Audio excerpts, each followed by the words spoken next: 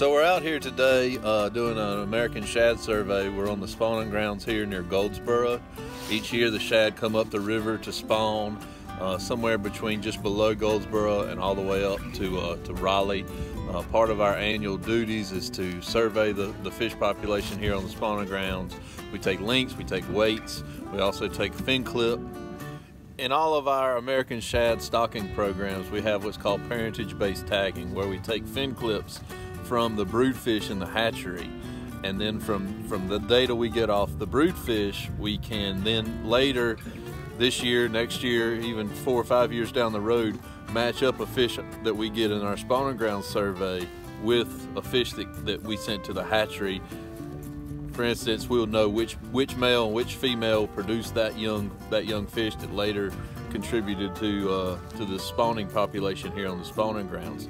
It's really important because that, that mark doesn't fade, the genetics stay the same over time, and it gives us real definitive evidence on our hatchery contribution rate.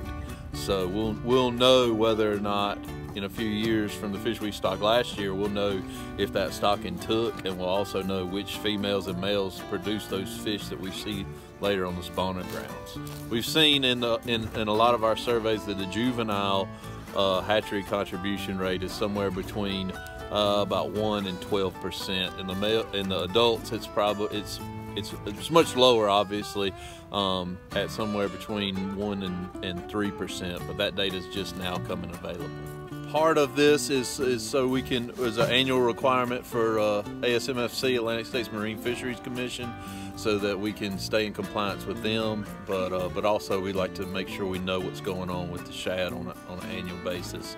We also do surveys for hickory shad and striped bass. So what we have here are three of the three shad species that are commonly found in the Neuse River.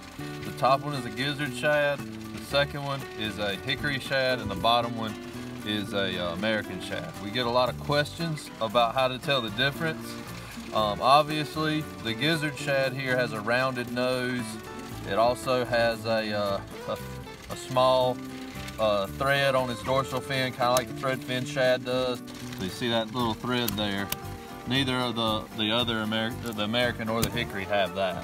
When it comes to telling difference between an American and a hickory shad, the easiest thing is to look at this underbite. The bottom jaw on the hickory shad extends past its top upper upper jaw or upper lip.